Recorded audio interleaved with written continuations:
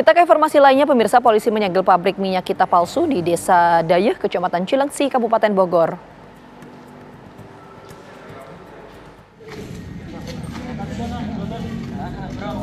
Tim unit reskrim Polsek Cilengsi memeriksa ruangan dan peralatan yang ada di dalam pabrik serta memintai keterangan dari sejumlah saksi.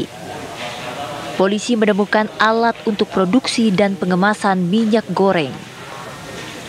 Dalam gudang itu pun polisi mengamankan barang bukti ribuan botol kemasan 1 liter minyak goreng dengan label minyak kita. 20 alat otomatis pengisian minyak goreng dan 8 ton minyak goreng minyak kita yang diduga kuat akan dijual di sejumlah wilayah di Jabodetabek. Bahwa kegiatan pengepakan ini atau packing ini berjalan baru 4 bulan. Oke. 4 bulan, kurang lebih ya 4 bulan. Pihak kepolisian pun telah menyegel gudang produksi minyak kita yang diduga ilegal tersebut hingga proses penyelidikan berlangsung. Dari Bogor, Jawa Barat, Usep Saripudin, TV One mengabarkan.